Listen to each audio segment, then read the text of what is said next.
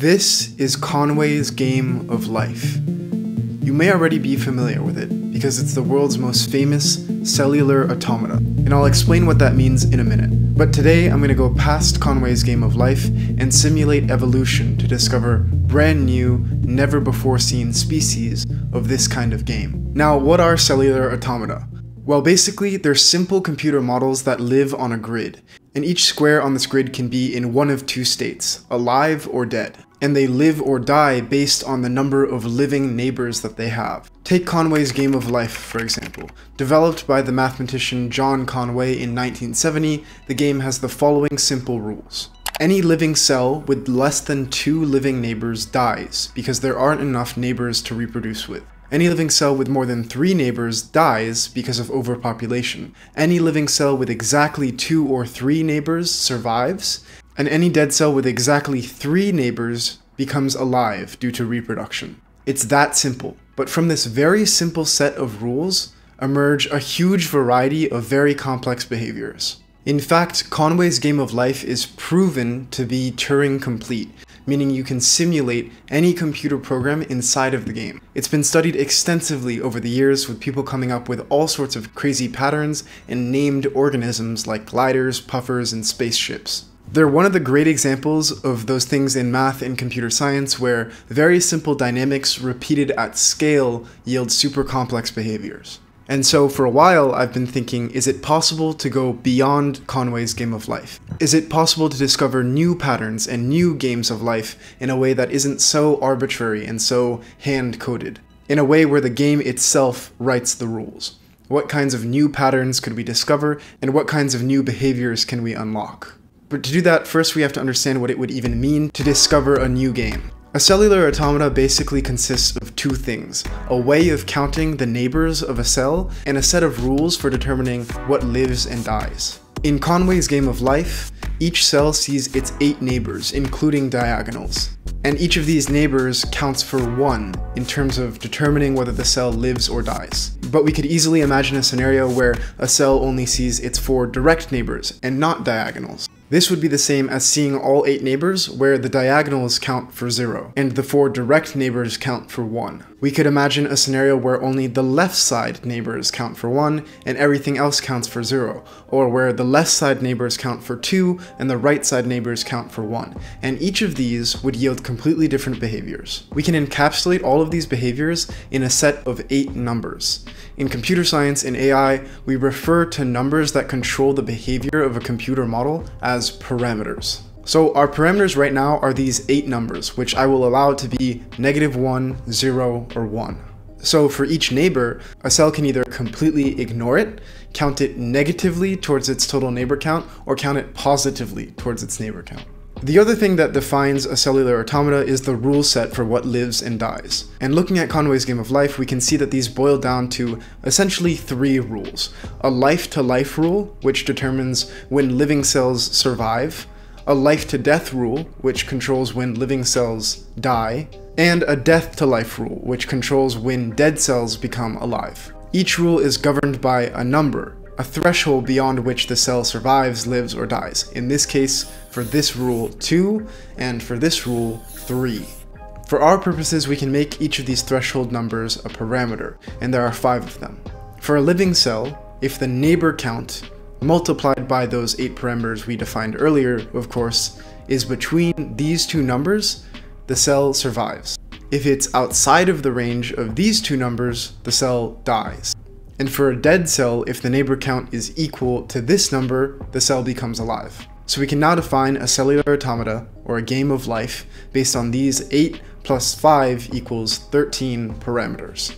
Now, the game of life is really just a name. It's not really life, and these are not really cells. But since at a high level it is inspired by living systems, I thought it made sense to learn these cellular automata using another method inspired by life, genetic algorithms. The way genetic algorithms work is somewhat like natural selection.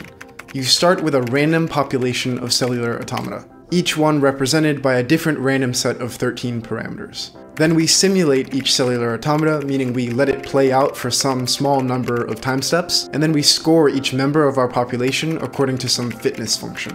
Then, based on their fitness scores, each member of the population has some probability of reproducing into the next generation. And the probability is proportional to the fitness score. So if you have two different cellular automata, and the first one gets a fitness score of 10, and the other one gets a fitness score of 1, the first one has a much higher probability of surviving into the next generation. Over many generations, just like in nature, the idea is that advantageous random traits will get selected out of the population, and the whole population will slowly converge toward that trait.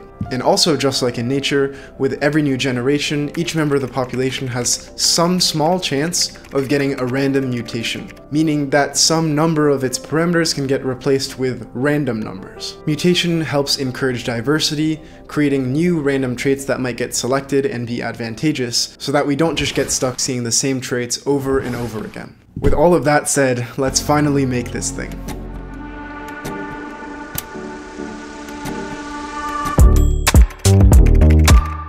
End up using a population of a thousand cellular automata. Each one runs for 20 steps before getting scored. At the beginning of the evolution, we want to discover a lot of new behaviors, so there's an 85% chance of mutation. But that decreases over generations, because we want to slowly zero in on the good mutations over time. We run this whole thing for a thousand generations.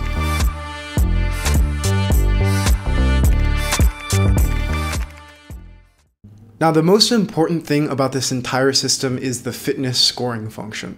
And I've experimented with a bunch of different variations. Here's what happens with a really simple score function, just the number of living cells. So each cellular automata is encouraged to grow as much as possible. In the first generation, we see, as we expect, just a bunch of random behavior.